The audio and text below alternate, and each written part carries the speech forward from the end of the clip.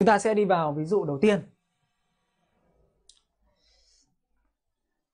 Ví dụ đầu tiên này, xét các số phức z và V kép thỏa mãn cái điều kiện mô đun của z cộng 2 trừ đi 2y bằng mô đun của z trừ đi 4y và v kép bằng y nhân z cộng với 1. Đề bài hỏi giá trị nhỏ nhất của mô số phức v kép sẽ bằng bằng gì thì ở đây đề bài cũng cho chúng ta bốn đáp án. Các em quan sát đề bài bốn đáp án. Xong chưa? Bây giờ chúng ta cùng phân tích đề bài nhé. Đưa về điểm và đường thẳng như thế nào? Thì các em để ý ở đây này.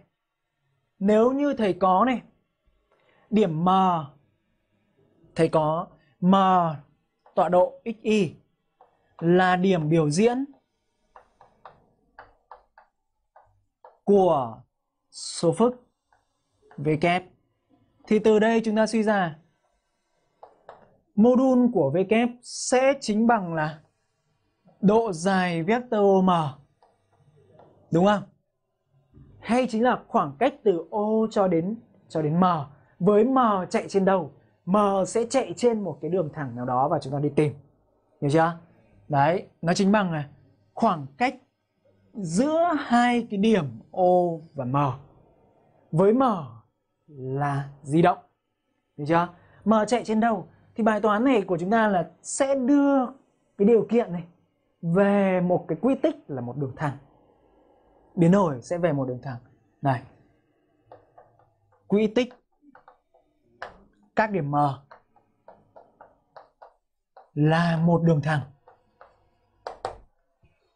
Lý do là vì sao là đường thẳng? Tí chúng ta biến đổi, nó sẽ ra. Tuy nhiên, ở dạng toán này thầy đưa, đó là về đường thẳng.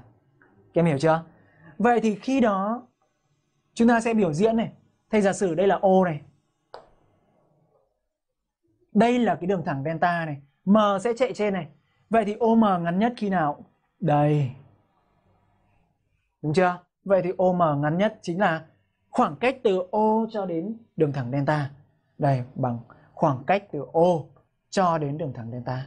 Vậy đến đây các em chuyển hoàn toàn bài toán bình thường này, bài toán đại số của số phức sang một bài toán hình học được. Các em hiểu chưa? Đấy là cách thứ nhất liên quan đến điểm và đường thẳng. Cách thứ hai, cách thứ hai, khi cái em biến đổi thì nó sẽ